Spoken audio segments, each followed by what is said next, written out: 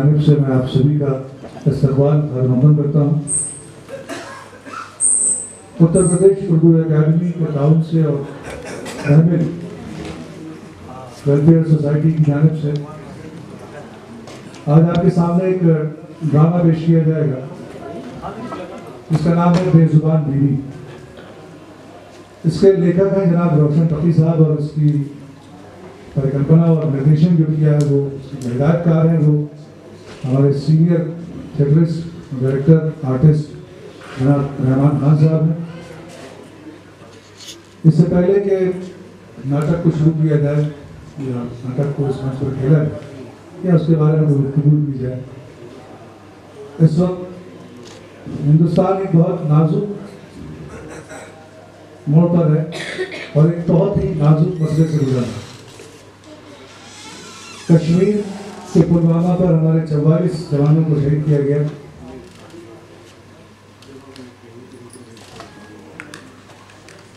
उनकी शहादत हिंदुस्तान के 135 करोड़ लोगों के लिए बहुत दुख की बात है। लेकिन 2004 में उनकी पेंशन जो है वो बंद कर दी गई थी। और अर्धबल सैनिकों को शहीद का दर्जा अभी तक दिया नहीं गया। हमने इसके खिलाफ बहुत एहतजाज किया बत्तियाँ जलाई, शोक मनाया, गुस्सा भी जताया। सबसे पहले हम ये तय करेंगे हमारी सरकारें भी जो हमारी सरकार है, ये जो हमारी सरकारें हैं, जो हमारी पॉलिटिशियंस हैं, उन्हें ये तय करना होगा कि अर्थ अर्थ विभाग के जो सैनिक हैं उन्हें शहीद का दर्जा देने के लिए पहले पेशनों को बहाल करें और उन्हें पहले शहीद का दर्जा दें। हमें सबसे पहले इसकी मांग उनसे करना पड़ेगा इस वक्त सोशल मीडिया बहुत गर्व है। लोग अलग अलग अपनी अपनी तरह से बात कर रहे हैं, लेकिन इस वक्त जो मौजूदा दौर है, उसमें हमें एक होना बहुत ज़रूरी है हमारा, एक राय होना ज़रूरी है। कम से कम जो अठारह सौ सत्तावन में जो हिंदुस्तानी थे हमें इस वक्त वैसा ही हिंदुस्तानी बनकर रहना पड़ेगा धर्म, भाषा, जबान, संस्कृतियों, इन तमाम चीज़ों से ऊपर उठकर हमें एक हिंदुस्तानी की तरह आपस में मिलकर रहना पड़ेगा, तभी जो हालात बिगड़े हैं वो सुधर सकते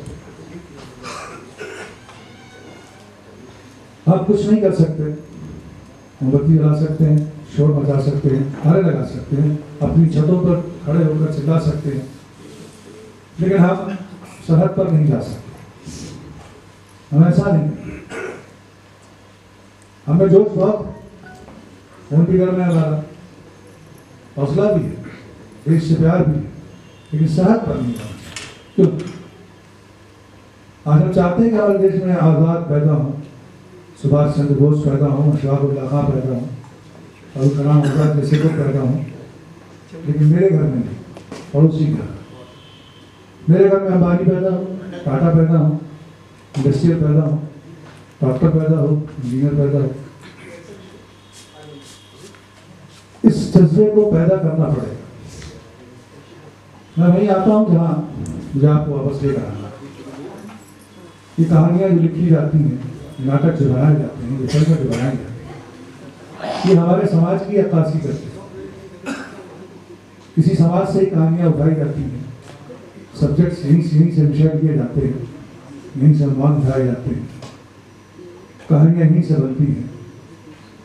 हमें हमारी हकीकत दिखाने के लिए ही ये कहानियाँ लिखी जाती हैं। नाटक जो खेले जाते हैं कैरेक्टर जो है, वो दिन भर महीनों मेहनत करता है, कलाकार उसके साथ रहकर एक लेखक जो है अपनी कहानी को लिखने के लिए, उसे सही अंजाम तक पहुँचाने के लिए, एक सही मैसेज देने के लिए कुछ राइटर तो परसों लगा देते हैं अपनी कहानी को पूरा करते लिए। उतनी मेहनत के बाद वो तो सामने आपके नाटक रखते हैं। और ताली बजाते हैं और चले जाते हैं। और उस नाटक के अंदर छुपा हुआ जो सबक जो सीख है वहाँ ध्यान। हम सेट देखते हैं कितना अच्छा है। अदाकारी देखते हैं, कहानी देखते हैं लाइट देखते हैं, बहुत कुछ हैं कॉस्ट्यूम देखते हैं मेकअप देखते हैं। लेकिन हम उस कहानी के अंदर जाने की कोशिश करते हैं। अगर नाटक को कहानी के साथ जोड़कर पात्रों के साथ जोड़कर देखा जाए या लेखक के साथ जोड़कर देखा जाए तो कहानी समझ में आती है और उसकी हकीकत समझ आज जो कुछ भी बिखरा हुआ है, वो शायद इसीलिए कि हम समेट नहीं पाए हमें अच्छा लगता है उसे वो देखते हैं। जो अच्छा होना चाहिए, उसे देखने की कोशिश नहीं करते, दिखाने की कोशिश करते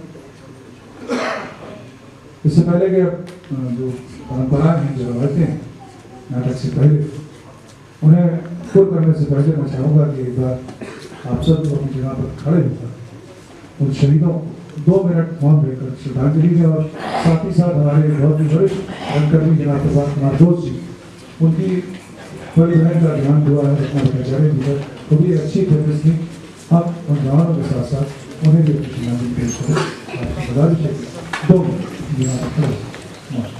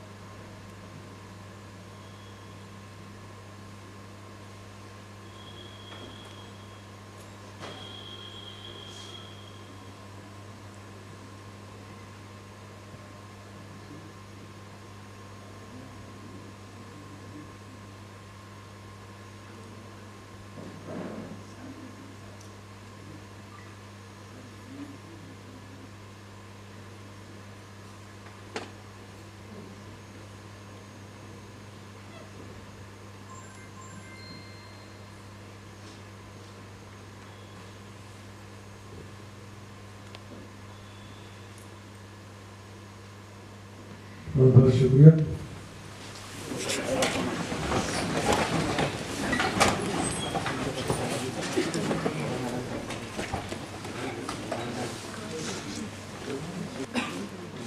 बहुत से लोगों की दुनिया खामोश होती है, बहुत की बहुत ज़्यादा है। खामोश हो तो परेशानी है, बोले तो परेशानी ज़्यादा बोले तो परेशानी तो इस नाटक में ऐसे ही कुछ कहानी है, मगर आपको बता दूँगा तो उसकी जो क्यूरसिटी है, देखने का जो मज़ा है वो लुत्फ है आता रहेगा। इसलिए कहानी को बयान न करके बस इतना बता दूँ कि सब्जेक्ट से ही, विषय से ही जान गए होंगे कि बेजुबान हिंदी इस कहानी का जो ड्रामा होगा, जो स्टेज के ऊपर तो कैसा हो सकता है? और ये ड्रामे शुरू करने से पहले मैं बता दूँ कि नेशनल वेलफेयर सोसाइटी जो है तो पिछले सात वर्षों से सामाजिक कार्यों में बढ़ चढ़ हिस्सा ले रही है और सेमिनार्स के ज़रिए से, नाटक के ज़रिए से लोगों तक किसी विषय को उठाकर किसी मरहले पर या किसी मसले पर गुफ्तगू करते हैं, सेमिनार ऐसे भी होते हैं कि हम अपनी सोच को या अपने एनालिसिस को आगे बढ़ाएँ। लेकिन बरसों से सेमिनार होते चले आ रहे हैं। उनका कोई हल ही नहीं होता। हॉल बुक करा लिया जाता है। वही दस पंद्रह बीस पचास मेहमान वही भरता तो शहर में हमारे पढ़े लिखे लोग हैं कुछ, वो आ जाते हैं, अपनी बात रख देते हैं। चाहे वो सेमिनार महिलाओं की के ऊपर हो, या वो हमारे देश की सियासत पर हो, या वो शिक्षा से ताल्लुक रखता हो, भ्रष्टाचार से ताल्लुक रखता हो बहुत सेमिनार होते रहते हैं। लेकिन उनका कोई हल नहीं करता इसलिए वो सेमिनार संस्था को आगे बढ़ाने के लिए, उसकी झोली में प्रोग्राम डालने के लिए और अपने बायलाज को बढ़िया से बढ़िया बनाने के लिए, फ़ाइल को मज़बूत करने के लिए किए जाते हैं। तो आज मैं बहुत ज़्यादा नहीं करूँगा। हमारे दरमियान इस वक्त जो हमारे मेहमान यहाँ पर मौजूद हैं, उन्हें सबसे पहले तो जनाब आलोक कुमार पांडे जी जो हमारे अतिथि हैं मैं चाहूँगा जोरदार ताली उनके लिए हो जो हमारे अति विशेष अतिथि जनाब सुधीर चंद्र जोशी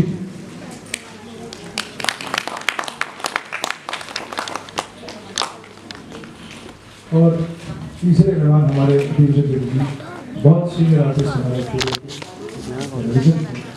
पीयूष पांडे साहब। हमारे जो अतिथि महोदय हैं वैसे तो वो बैंक में जॉब करते हैं सरकारी नौकरी। लेकिन एक शौक उनका था तबला, बहुत अच्छा। लेकिन जब नौकरी कर ली तो साहब काम तो हमारा बैंक का है, शौक अलग चीज़ है। रिटायरमेंट के बाद अपनी पूरी तरह से अपना शौक पूरा और बहुत अच्छा तबला बजाते हैं पूरे हिंदुस्तान जगह जगह पर आपने बहुत सारे प्रोग्राम दिए हैं। और बहुत सारे प्रोग्राम हैं सेलिब्रिटीज़ के साथ भी आपने अपने उस हुनर को अपने फन को लोगों पहुँचाया है। हमारी खुशी भी है कि यहाँ पर हमारे खसूसी की हैसियत से हम खुशी रखते हैं। और उनके साथ साथ हमारे दूसरे मेहमान, जनाब सुदीप चंद जोशी। वैसे तो उसमें लिखा हुआ है कि आप ने रिटायरमेंट ले लिया है। महाप्रबंधक या उत्तर प्रदेश राजकीय परिवहन निगम में मैं इनकी पोस्ट मैं तो उनकी बता रहा हूँ, मैं इनकी बता रहा हूँ। इंसान बहुत अच्छे हैं। कला से प्रेम संस्कृति से अक्सर ये होता है कि पद की बातें ज़्यादा होती हैं और इंसान के अंदर की जो क्वालिटियाँ जो उसकी खूबियाँ हैं, उसकी बात नहीं करते मैं उनके पद की बात नहीं कर रहा तो उनके एजुकेशन की वजह से उन्हें पता लगा उन्होंने शिक्षा हासिल किया और शिक्षा जो है वो सब जानते हैं कि रोशनी क्या होती है। और अंदर से भी रोशनी करती है और बाहर भी लोगों को रोशनी देती है तो ये वाले लोग हैं लेकिन साथ ही साथ इन्होंने अपनी शिक्षा का गलत इस्तेमाल नहीं किया, अपने अहदे अपने पद का गलत इस्तेमाल नहीं किया, बल्कि अपने पद को कुछ गरिमा को बना के रखा, इसलिए क्योंकि वो अच्छे थे, इसलिए उसने अच्छा और साफ़ रखी मैं साहब तीनों मेहमानों के एक बार जोरदार तालियाँ हो जाए।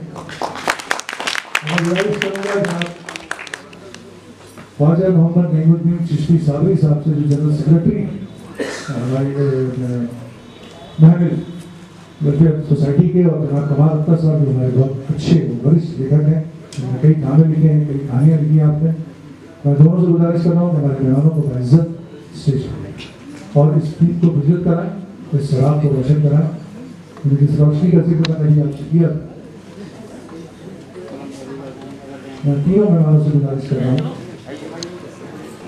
पीयूष पांडे साहब से मैं खास तौर से गुजारिश कर रहा हूँ एक बहुत अच्छे हैं।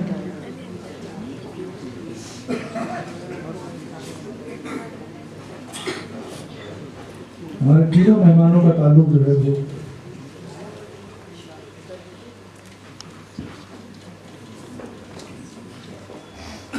आज के इस नाटक के लेखक जनाब रोशन पति साहब से जो बड़ा करम मेहरबानी वो पीछे बैठे हुए हैं बहुत सादा इंसान है, वो मेजबान है हमारे। रोशन पति साहब, आज उन्हीं के, उन्हीं की कहानी का आज यहाँ पर जो है मंचन होना है। इस ड्रामे को यहाँ पर खेला जाएगा उस खेल को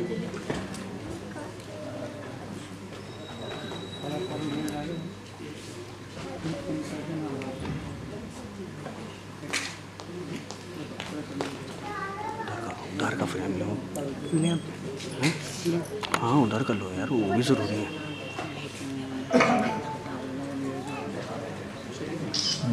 साहब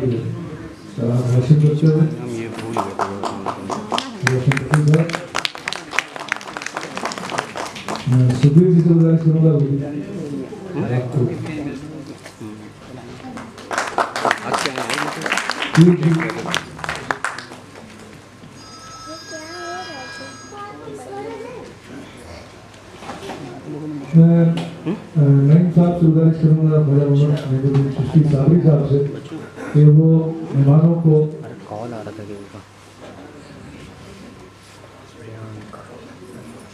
मैं इस हिसाब से गुजारिश करूँगा मैंने जिस हिसाब से वो मेहमानों को दिल पेश करें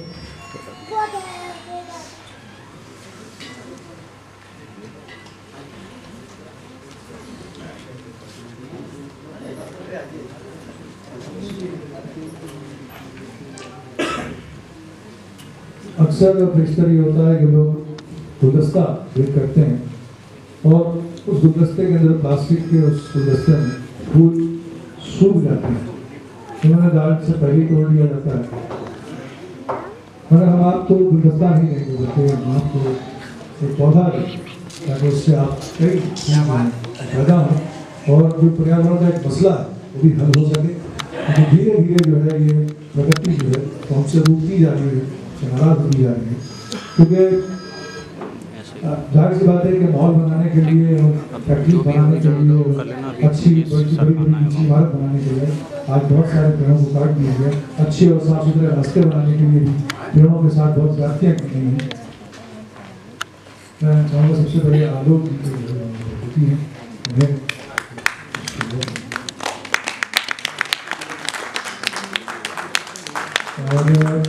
और हमारे दूसरे मेहमान जनाब ऋषि जी। कहते हैं कि चेहरा जो है वो दिल का आईना होता है। ये पानी है आपका। और ये देखा है मैंने कि जो बहुत फलदार पेड़ होते हैं, वो बहुत ज़्यादा झुके हुए होते हैं। हमें सीख लेना चाहिए पीयूष साहब से इतना बहुत सारा काम आपने किया है और कभी भी आपने यहीं बैठो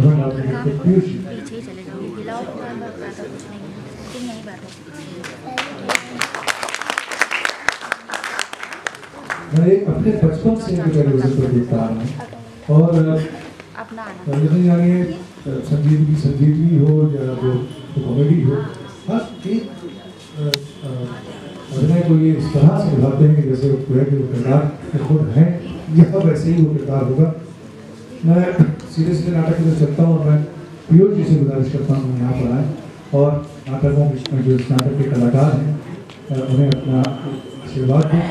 और थोड़ी सी गुफ्तगू क्योंकि जब एक पढ़ा लिखा इंसान अपनी खामोशी तोड़ता है तो सामने वाले को बहुत कुछ हासिल होता है, उसकी खामोशी तोड़ने से।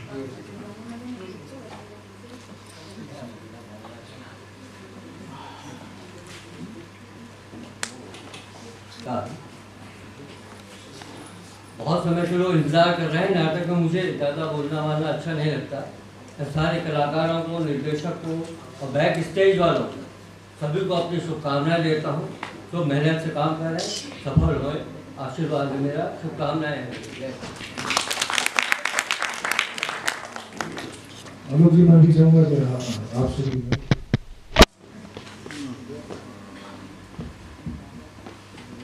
मेरे परम मित्र श्री सुधीर जोशी जी पीयूष पांडे जी हमारे बड़े भाई साहब प्रमोद भाई प्रमोद पांडे जी और हॉल में मौजूद खवातीन हजरात बड़ी खुशी की बात है कि आज आप लोगों के सामने रोशन खती साहब का लिखा नाटक, हास्य नाटक, बेजुबान बीबी का मंचन होने जा रहा है। और मैं इस बात के लिए तारीफ़ करूँगा महमिल सोसाइटी के जनरल सेक्रेटरी नईम भाई का जिनको इस लाइन का बहुत अच्छा शौक है, बहुत पुराना शौक है। कई बार नाटकों में दिखाई पड़ते थे तो मैं तक मैं कहता था, भाई तुमको इतना टाइम मिलता है, बोले, नहीं, मुझे बहुत शौक है। तो मैंने कहा, शौक है, शौक रखो इस उम्र पर क्या करोगे बोले, नहीं, अब कुछ करना इन्होंने बहुत मेहनत करके एक संस्था खड़ी की। Mahmil welfare society general secretary हैं। और बड़ी मेहनत करके इन्होंने अपनी संस्था बनाई रजिस्टर कराई। और उर्दू अकेडमी के सहयोग से आज ये नाटक मंचित करने जा रहे हैं। प्रस्तुति इन्हीं की है। और शासन से कुछ अनुदान भी मिला है। तो मुझे हर्ष इसी बात का है कि ये लोग इतना कर रहे हैं। कम से कम इन लोगों के बहाने हमारी संस्कृति थोड़ी सी बची हुई है। लोग इसमें इन्वॉल्व कर रहे हैं। ये बहुत खुशी की बात है।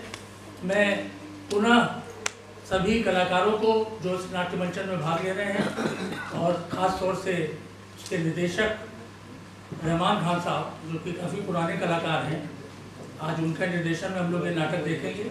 मेरी आप सबको बहुत बहुत बधाई, शुभकामनाएँ। धन्यवाद। मैं चाहूँगा सुधीर जी दो शब्द आपके भी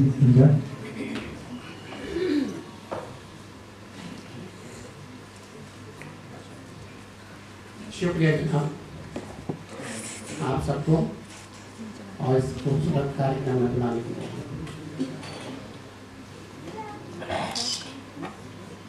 आप जैसा कि हम सब जानते हैं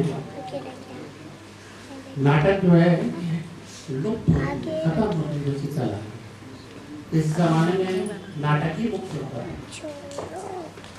और जब फ़िल्म आ गई तो उसके बाद फ़िल्म में नाटक का स्थान लेने से चली फिर नाटक पीछे होते चले गए और फ़िल्म आगे बढ़ती चली ऐसे में कुछ लोग नाटक को ज़िंदा रखने की कोशिश कर रहे हैं। मैं आपकी भी एक संस्था है, इसके लिए मैं आप लोगों को मुबारकबाद देता हूँ चौदह पॉइंट आठ जी बी दिखा रहा था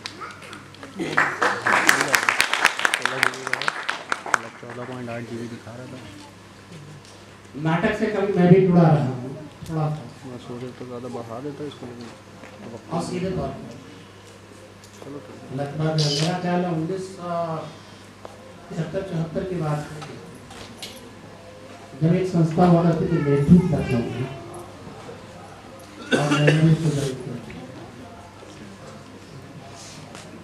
उसको बाद मैंने यहाँ इसको एक्चुअली उत्तर प्रदेश नाटक अकेडमी कहते हैं ये भारतीय जो नाट्य केंद्र के नाम से ध्यान जाती थी और माल एवेन्यू में इसका ऑफ़िस था वो होता। था क्लासिक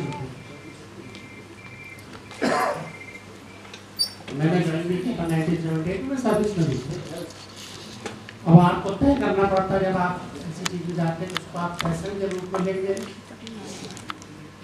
या प्रोफेशन रूप में।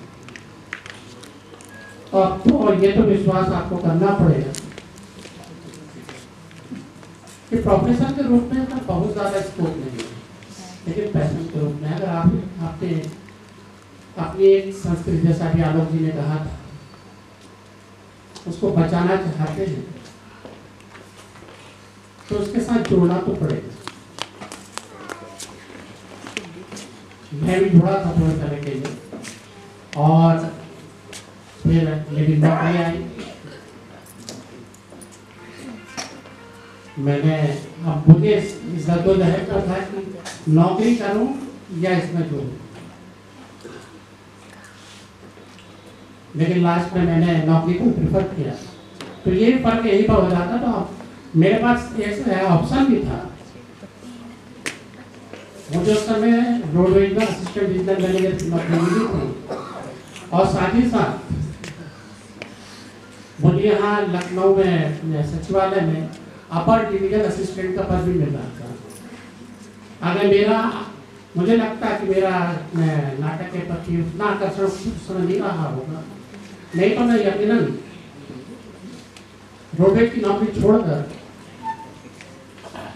अपर डिवीज़न असिस्टेंट की नौकरी करता तो ये तय आप ही को करना होता है कि आप क्या करें। और अगर आपका इसके प्रति इतना ज़्यादा झुकाव है तो मैं भी आपसे कहूँगा कि ऐसे मौके आए तो आप सेक्रेटरीट की ड्यूटी भी नौकरी कीजिएगा ताकि आपका प्रोफेशन और पैशन दोनों ज़िंदा रहे मैं आप लोगों को इस अच्छे काम के लिए बधाई देता हूँ इस आज के नाटक के लिए कामयाबी के लिए शुभकामनाएँ देता हूँ बधाई। और आपकी संस्था की कामयाबी के लिए शुभकामनाएँ। धन्यवाद।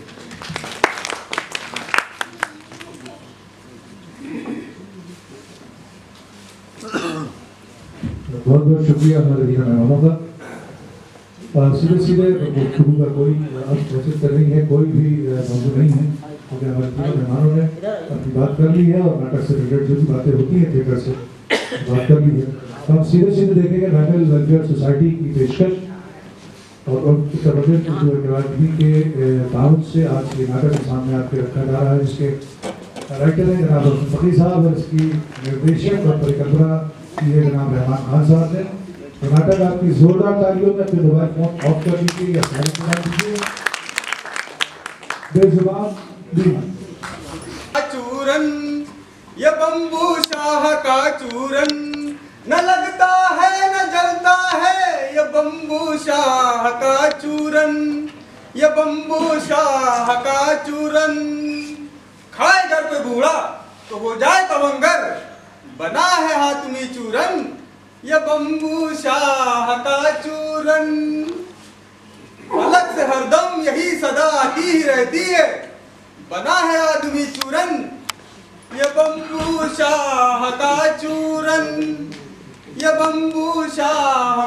चूरन आइए, अब आप लोगों को ले चलते हैं मुंशी करामत के पास, जिन्होंने कर्ज तो खा लिया, पर अभी तक दिनार नहीं दिए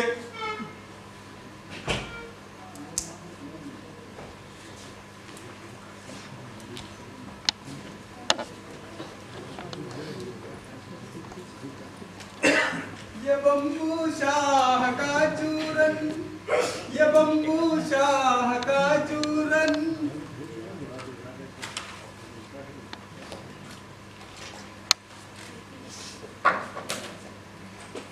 तुम फिर यहीं आकर बैठ गए। यहाँ ना बैठूं तो कहाँ जाऊँ हुजूर? क्या ज़्यादा अपना काम करो। अपना काम ही तो करने आया हूँ हुजूर। अरे तो यहाँ बैठे बैठे कौन सा काम कर लोगे? चलो निकले यहाँ से। देखिए मुंशी जी ये महल काजी साहब का है है ना? हाँ है। और और मैं उनकी रैयत हूँ हूँ ना? वो तो वो। और आप उनके मुंशी हैं है ना? हाँ है। और और उनकी बीवी भी है? हाँ है। तुम कहना क्या चाहते हो? और उनके छोटे छोटे बच्चे भी हैं? नहीं है। और कुछ कहना है? जी। क्या? आप बहुत खूबसूरत हैं। चुप। निकलो यहाँ से। जानते हो ये किसका महल है? जानता हूँ जानता हूँ। क्या? यही कि एक काजी साहब का महल है और आप चुप! ये क्या शोर मचा रहा हुजूर ये बेबी वाला है। और हुजूर से रहें की भीख मांगने आए हैं, हुजूर। छोड़ो पहले छोड़ो करो हुजूर ये बहुत चलता पुर्जा है। देखिए हुजूर अब फिर मुझे बुरा भला कहा इसलिए यार क्या हुजूर हुजूर से फरियाद है हुजूर। तो बयान करो ना। लेकिन हुजूर देखिए हुजूर ये ज़्यादा चमचा कर फिर मुझे बोलने नहीं दे रहे हैं। मुझे करामत नहीं आप थोड़ी देर खामोश। हम्म, क्या कहना चाहते हो? हुजूर मैं एक फेरी वाला हूँ। अच्छा। मैं एक ऐसा चूरन बेचता हूँ हम्म। कि बसूरत खाए खूबसूरत हो जाए। बूढ़ा खाए जवान हो जाए। गोरा खाए काला हो जाए काला खाए गोरा हो जाए। और हुजूर गूँगा खाए तो तैया मिर्ची की तरह बोलने लगे। क्या क्या क्या क्या क्या कहा झूँगा खाए तो ततैया मिर्ची की तरह बोलने लगे? जी हुजूर। लेकिन मेरी बात अभी पूरी नहीं हुई हुजूर। जिसे जी, आपको काजी साहब ने बोलने के लिए मना किया है। हुजूर अभी मैंने कुछ कहा ही कहा है। ये तो कहो ना जल्दी से। हुजूर या मिर्ची हुजूर वो चूरन मुंशी जी ने मुझसे कर्ज लेकर खा लिया था। अच्छा। जरा देखिए तो हुजूर कितने खूबसूरत लग रहे हैं। जरा नज़दीक से देखिए हुजूर। चुप। माशाअल्लाह माशाअल्लाह तो भाई रहमत मियाँ भाई इस चूरन वाले का जो इल्ज़ाम है, है? सच मालूम हो रहा है? हुजूर कर्ज खा लिया दिनार अभी तक नहीं दिए। अच्छा ये मैं क्या सुन रहा हूँ? हुजूर ये फेरी वाला जी हुजूर ने आपको बोलने के लिए मना किया है। एक बात बताओ तुम अभी कह रहे थे कि तुम्हारे पास ऐसा चूरन है। जो अगर सूरत खाए तो खूबसूरत हो जाए गोरा खाए तो काला हो जाए और गूँगा खाए तो ततैया मिर्ची की तरह बोलने लगे। जी हुजूर वो तो है। अच्छा ऐसा करो आज जाओ हम कल तुम्हारे मुकदमे का फैसला करेंगे। जी हुजूर। लेकिन हुजूर जी हुजूर ने आप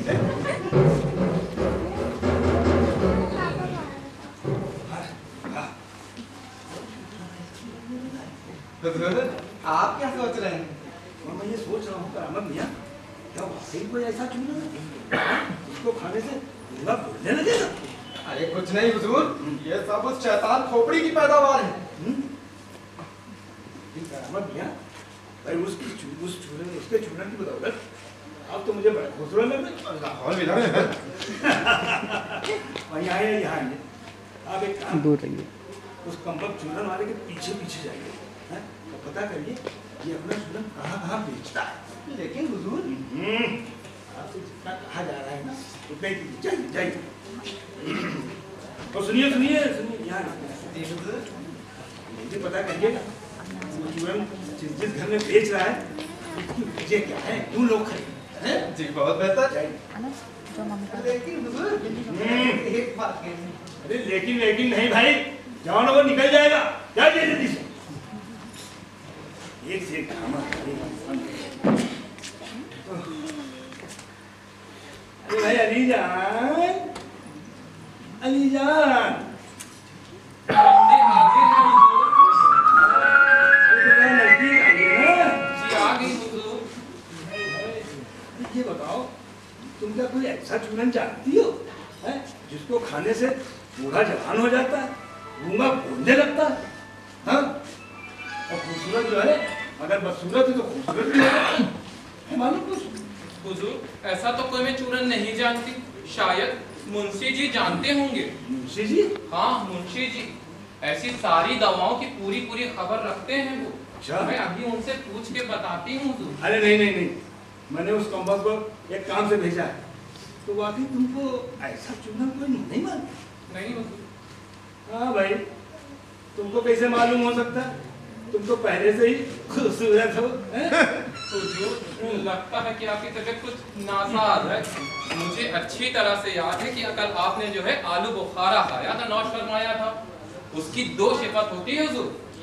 पहली जिसको बुखार होता है उसे उतर जाता है और जिसको नहीं होता है उसे चढ़ जाता है अली जान जी हुजूर बहुत बोलने लगी जी हुजूर अच्छा जाओ जरा बेगम नूरी को भेजो वो मेरे लिए एक फिंजान कौवे के लेकर हाजिर क्या नूरी बेगम साहिबा हुजूर लेकिन आप तो कभी उनको जहमत देते नहीं हैं हुजूर भाई आज की बात दूसरी है और फिर वैसे भी वो हमारी बेगम है भाई मेरी खिदमत करना तो उनका फ़र्ज़ बनता है है कि नहीं जाइए भेजिए उनको। जैसा हो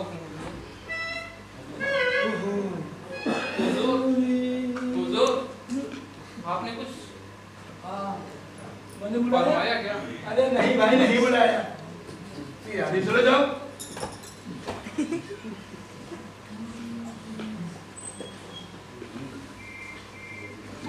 वाले का मेरी समझ नहीं आ कहता है कि गोरा खाए तो काला हो जाए और काला खाए तो गोरा घूँगा खाए तो बोलने लगे। अगर वाकई ऐसा चूरन है तो उसकी जानकारी होनी चाहिए। मैं क्या बता? कब उसकी ज़रूरत हो जाए? कब उसकी ज़रूरत पड़ जाए? हाँ माशाल्लाह माशाल्लाह। आइए आइए तशरीफ़ लाइए। भाई वाह। भाई जो मज़ा अपनी बेगम के हाथ से पीने में है। अब वो कम्बक अली जान और दूसरों के हाथों में कहा? तो नाहक नाराज़ हो गई। अरे भाई मैं फ़िलहाल की बात कर रहा था। लाइए।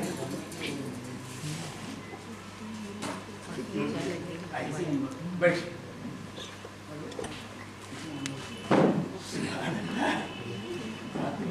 किसी अरबी कहानी की भूल मालूम हो रही है। मैं लग रहा है कि आसमान से अभी अभी नाजिल हुई हो। बहुत खूबसूरत है। हुआ खुदा ने बड़ी फुर्सत से बनाया है आप।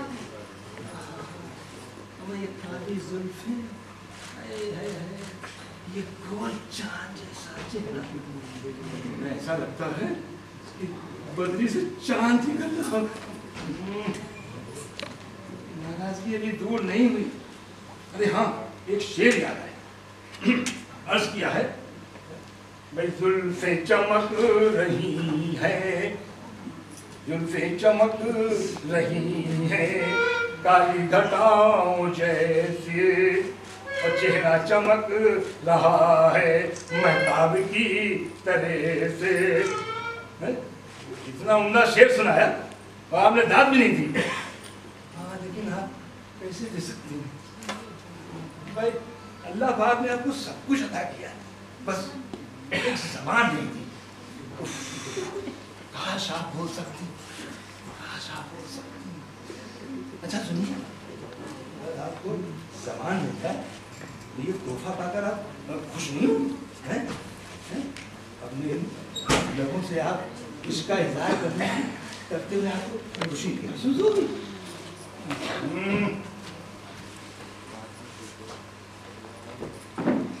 क्या आपको इस बात की खुशी मुझसे कहें मेरे सरदार मैं आपको दिलो जान से चाहती हूँ।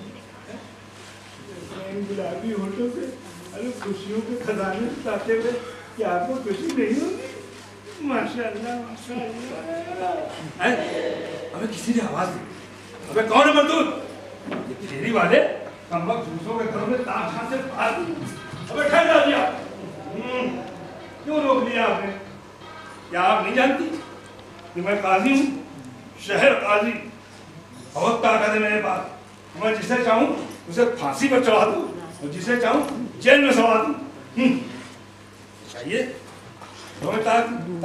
रहे अरे हाँ याद आया? ये खुशखबरी है आपके? लिए कह दिया है।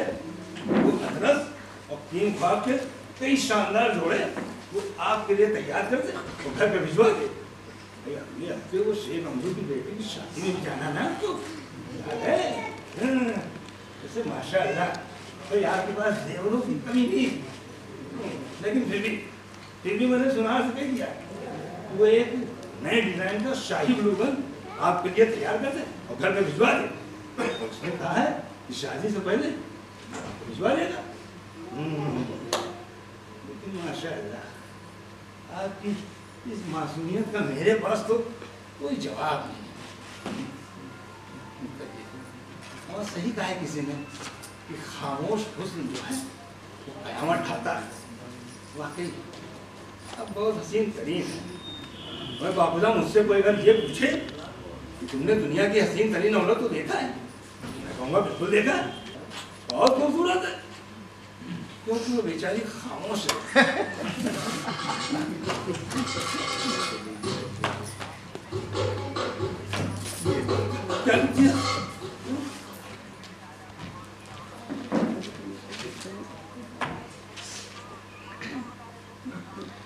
जहाँ पर हाल ज़ाहिर है, हमारी उल्फत का, वो कम सुखम हूँ गोया नहीं जबा मेरी। ये माशाल्लाह हमें क्या बात लिखी है आपने? भाई, जवाब नहीं है बेगम आपका वाह वाह बात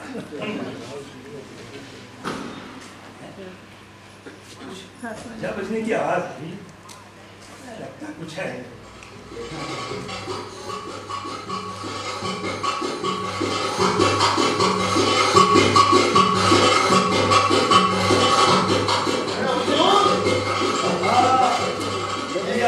झांकने वाली बात समझ में नहीं आएगी मियाँ आपको समझ में नहीं आएगी?